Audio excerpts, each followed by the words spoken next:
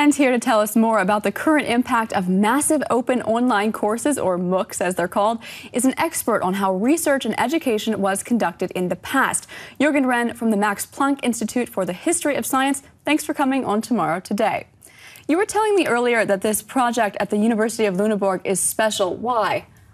I think it's perhaps not unique, but it's certainly special because there is a lot of investment in the interaction with the students. There is something that is called a global classroom, which involves uh, students in meetings and in interactive reactions to the uh, course offerings.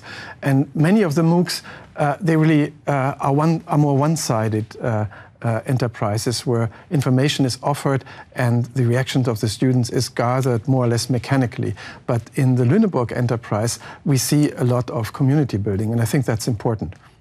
Why are MOOCs so trendy right now? The technology to offer these courses has been around for a while, so why now? I think uh, MOOCs have become trendy because universities, major universities, have identified them also as a means to market uh, themselves, to put themselves on a global market, uh, drawing attention to their course offerings. And they do also uh, cost a lot of effort well-produced uh, MOOC programs uh, require a lot of investments that major universities are undertaking. So it has taken some time uh, to to establish this enterprise.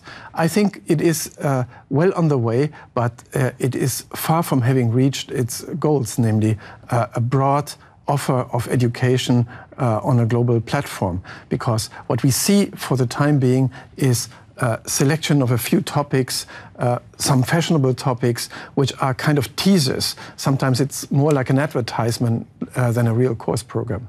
Who's the target audience for these courses? I think the target audience is uh, students that might eventually also choose to enroll uh, in the universities offering uh, those programs.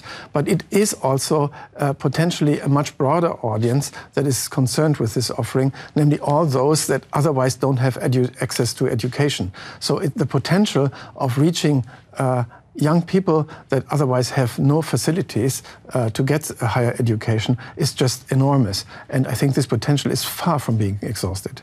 You mentioned access to education. In many countries, education is a very expensive luxury and it's only for a select few.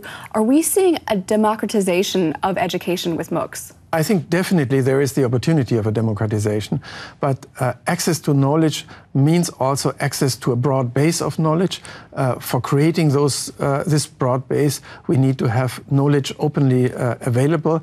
That's still an effort to bring scientific knowledge in the open access uh, mode fully, and that would be a prerequisite for really offering this. And the other aspect is we need a localization of this knowledge. Many people in the world have different local needs, and we need to adapt uh, the educational offers to those those local needs. And that cannot be done by a few centralized uh, MOOCs presented by some of the leading universities. We need much more grassroots activities, I believe. Fascinating subject. Jürgen Renn, thanks so much for joining Thank us you. here on Tomorrow Today.